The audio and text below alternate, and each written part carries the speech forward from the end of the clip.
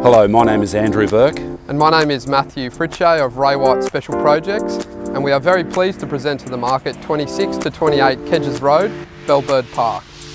This 7,284 square metre development site situated in Ipswich is shovel ready as has both development and operational works approvals for 35 townhouses.